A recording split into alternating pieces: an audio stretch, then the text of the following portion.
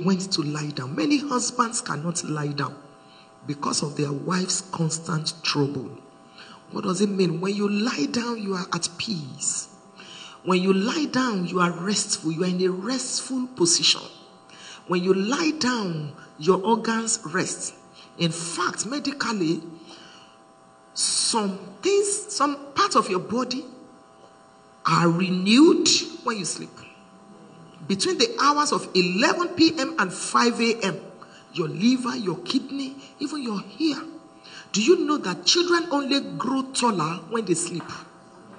And because many of them don't want to sleep, so they, took, they take ill and then they are compelled because they stretch when they sleep. It's a mystery of God. Many husbands cannot lie down. Many husbands are not at peace because of constant trouble. Wake up, wake up. You are the one I'm talking to. Let me. Uh, we've not finished talking about that. Every little thing, quarrel, quarrel. Some women are so quarrelsome. Some of them, you pray them out of your church. They are so quarrelsome. Every little thing, there must be a quarrel. And their mouth will be running and running and running. Every every rumor in the church can be traced to them. They are the CNN of, of Transformation Life Center. At home, everywhere. Let your husbands lie down. Let them be at peace. Stop troubling them. Give them peace at home. Let the man be blessing God. When the man lies down, he's in a, he's in a correct state of mind. He can see vision. You can see that the head is one of the smallest parts of the body, but it, it, it controls everything. It controls the nervous system, the central nervous system. It has the eyes with which we see. It has the ears which, which we hear. The mouth, the brain. That's the man. You are the body. You are the neck. You turn the head anywhere. That's true. But the man is the head, according to the Bible. So if you don't allow him to think and to be at peace, men are like the elastic, you know, that rubber band. Sometimes they just want to pull away from you a little.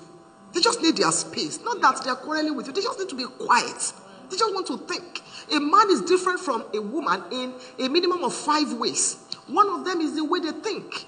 A man thinks deeply, a woman does not think as deeply as a man does, she only thinks faster than a man. Because when you are pregnant in the 29th week, and it's a medical fact, if that child is going to be a girl, nothing happens to her brain in pregnancy. But if that child is going to be a boy, the right hemisphere is cleared off.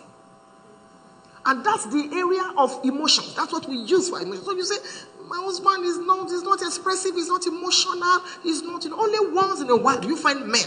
Many of them learn it. They learn it. You have to teach them. A woman juggles with both sides of her brain. That's why a woman can do many things at the same time. A man can do only one thing at a time.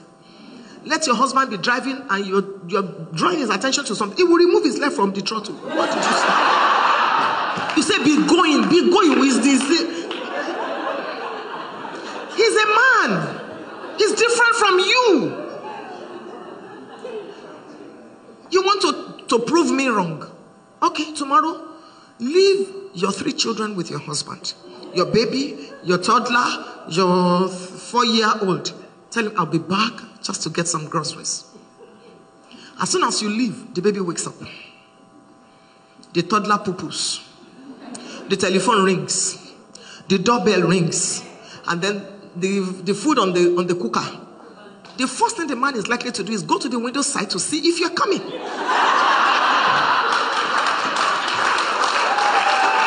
what he's likely to do. But excuse me, this is what a woman manages every day. She knows what to do, but uh, because she thinks, she juggles everything. You can't compare your husband with yourself, and he's not wicked, he's not inferior. Say, my husband, you don't even know. No, he's a man. You're married to a man. He has to learn to understand you. And you know, a woman, you know, you are very expensive as a woman. You know, my husband tells me, say, you are even more expensive than my car. I said, that's why I'm a woman. when you think you have understood a woman, she opens another page. The woman is laughing now. The next minute she's crying. Say, what's wrong? I don't even know. even me, I don't know. It may be her cycle. That's a woman for you. As a woman, I, I, I don't know. I just don't feel like talking to anybody. I tell men when there is a misunderstanding and your wife says, Leave me, just leave me alone, and she's going, you better follow her. When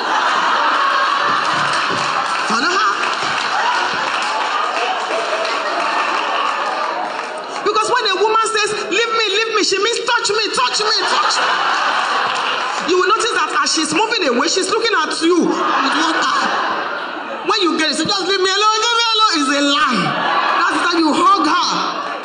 So you don't say, she said I should leave her, I left her. You are cutting trouble.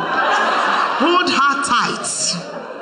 That's a woman. A man is thinking, I'm 45, I need a house, I need a home. I have one, but I need more than one. A woman is thinking, Christmas is coming, what shall I wear? and the children. And the man is saying, Oh God. And the woman is saying, Excuse me. And then you're wondering, you, you are not, you're not futuristic. No, it's because he's a man. A man defines himself by what he does. A woman defines herself by who she is. I am the wife of Bishop Adejumo.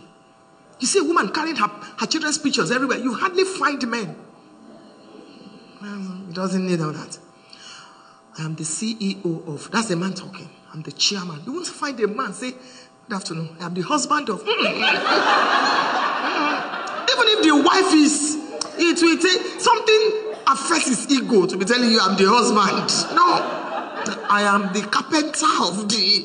He prefers to mention a job that is not that to say I'm the. But you see the woman, I'm the wife of. That's the way we are made. Because when the man was created, it was because he was wanted. When the woman was created, it was because she was needed.